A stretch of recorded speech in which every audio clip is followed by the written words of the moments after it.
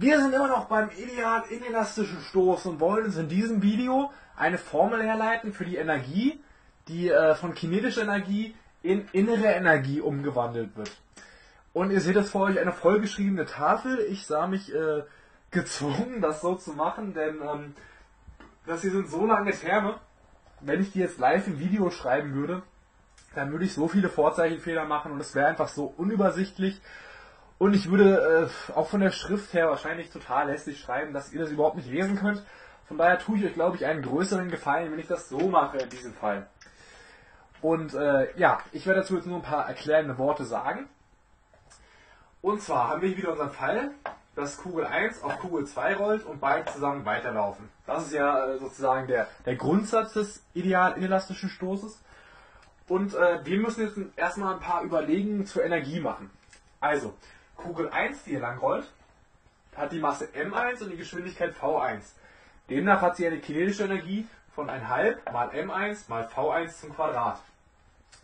Kugel 2 hat eine Masse von m2 und eine Geschwindigkeit von v2. Demnach eine kinetische Energie von 1,5 mal m2 mal v2 zum Quadrat. Da das hier und das hier dasselbe System ist, muss nach Energieerhaltungssatz dort dieselbe Energiemenge vorhanden sein.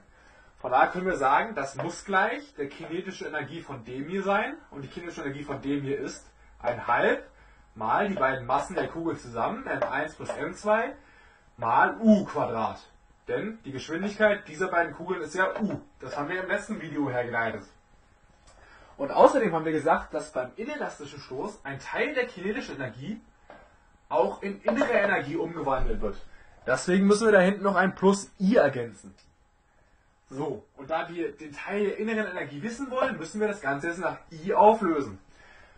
Dazu nehmen wir erstmal minus 1,5 mal m1 plus m2 mal u Quadrat, damit dieser Teil hier von der Seite verschwindet. So, das habe ich hier im nächsten Schritt auch gemacht. Ich habe hier gleich noch die 1,5 ausgeklammert, denn die sind auch in jedem Summanden drin, von daher können wir das auch durchaus tun. Und dann steht da 1,5 mal m1 mal v1 Quadrat plus m2 mal v2 Quadrat minus m1 plus m2 mal, und jetzt habe ich für u auch gleich diese Formel hier eingesetzt. Das haben wir ja im vorigen Video, wie schon gesagt, hergeleitet. Deswegen können wir das auch durchaus machen. Und äh, wir müssen natürlich zum Quadrat nehmen, weil hier steht u Quadrat und dann müssen wir natürlich auch den Teil hier zum Quadrat nehmen. Gut. In der nächsten Zeile dann haben wir wieder ein halb. So, jetzt hier Vorsicht. M1 mal v1 zum Quadrat steht hier auch. m2 mal v2 zum Quadrat steht hier auch. Mal m1 plus m2. Das steht hier nicht. Das haben wir aber gemacht aus dem Grund, äh, wir haben hier erweitert. Wir haben es sowohl in den Zähler als auch in den Nenner geschrieben. Das kann man eigentlich mit jeder Zahl machen. Wenn ich jetzt zum Beispiel die Zahl äh, 3 nehme, dann kann ich hier die ja durchaus umschreiben in 3 mal 4 geteilt durch 4. Solange ich die 4 nämlich im Zähler als auch im Nenner ergänze, ändert sich ja nichts. Die 4 kann ich jederzeit wegkürzen, dann steht da wieder 3. Das heißt, das hier ist durchaus erlaubt. Ob es Sinn macht oder nicht, ist dann die andere Sache. Und in diesem Fall hier macht es dann tatsächlich Sinn, weil wir ähm, den Term auf diese Seite später ein bisschen vereinfachen können. So, also hier einfach nur mit m1 plus m2 erweitert. Okay, akzeptieren wir.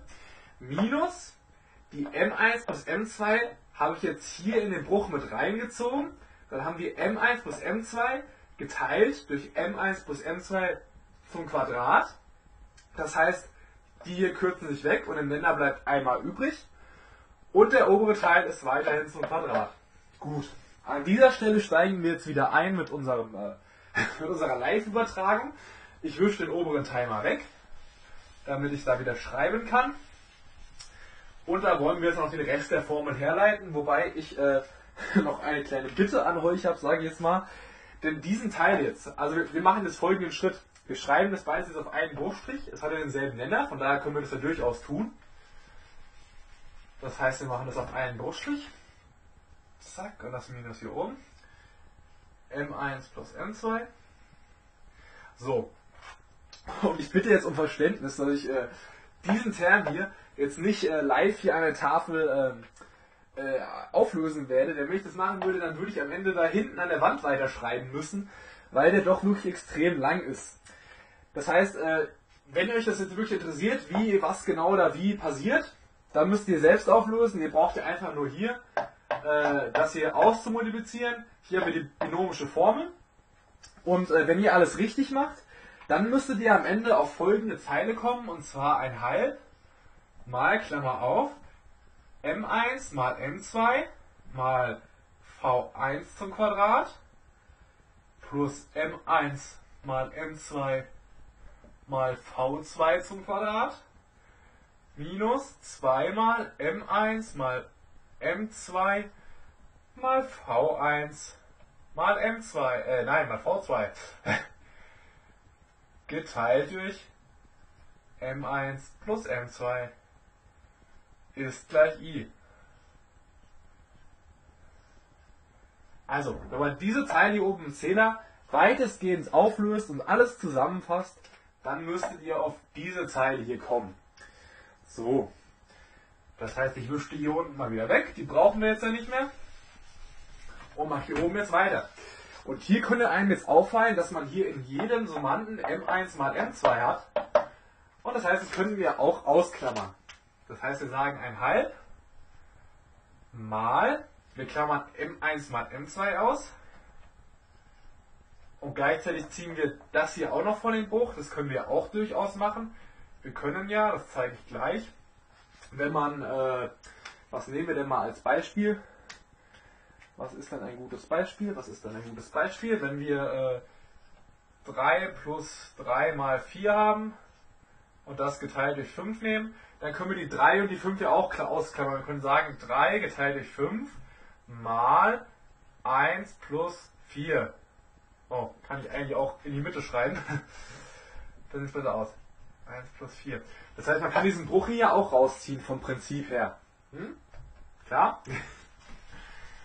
Also, das machen wir. Wir ziehen das M1 plus M2 auch mit raus. Und sagen dann eben mal, so jetzt müssen wir gucken, was bleibt drin. M1 mal M2 in der Außenklammert. Dann bleibt V1 Quadrat drin. Plus V2 Quadrat. Minus 2 ist noch drin. Und V1 mal V2 ist noch drin. 2 mal V1 mal V2 ist gleich I. So. Jetzt sind wir eigentlich schon relativ weit. Der äh, Mörderterm, den wir am Anfang stehen hatten, hat jetzt soweit vereinfacht. Und nun können wir noch sehen, dass hier eine binomische Formel äh, vorliegt. Denn wenn wir das Ganze mal ein bisschen umschreiben, und zwar sagen V1 minus 2 mal V1 mal V2 plus V2 zum Quadrat, dann sieht das Ganze schon viel mehr nach binomischer Formel aus. Da kann man nämlich sehen, aha, das ist die zweite binomische Formel. Und wer sich mit binomischen Formeln auskennt, der weiß, dass er das dann wie folgt zusammenfassen kann. Ein halb mal M1 mal M2 geteilt durch M1 plus M2 mal V1 minus V2 zum Quadrat. Oder eben andersrum. Man könnte jetzt auch sagen, V2 minus V1, das ist eigentlich völlig wurscht, egal, denn dann kommt dasselbe raus.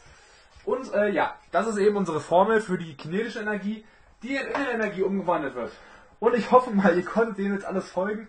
Äh, es tut mir selber ein bisschen leid, dass das Video jetzt so unübersichtlich geworden ist. Aber ich äh, glaube, bei der Sache geht es einfach nicht anders, denn da kriegt man halt nur mal so einen Formelbrei. Und äh, wer das Video zum elastischen Stoß gesehen hat, äh, beziehungsweise es noch sehen wird, der wird äh, ja das vielleicht schon kennen, dass es da ein bisschen, äh, bisschen unordentlich zugeht. Egal. Äh, was wichtig ist, ist eigentlich nur die Formel, die könnt ihr ja meinetwegen auch auswendig lernen. Man muss das Rad ja nicht immer neu erfinden, man muss die nicht ja jedes Mal in der Klausur herleiten, sondern man kann ja einfach die Formel hier benutzen. Das heißt, in dem Fall äh, sagt sogar ich mal, okay, das hier, das kann man auswendig lernen, das muss man nicht jedes Mal neu herleiten. Ja, ansonsten war es das äh, von der kinetischen Energie zur inneren Energie und äh, ja, mal schauen, was noch so kommt im Thema Ideal inelastischer Stoß.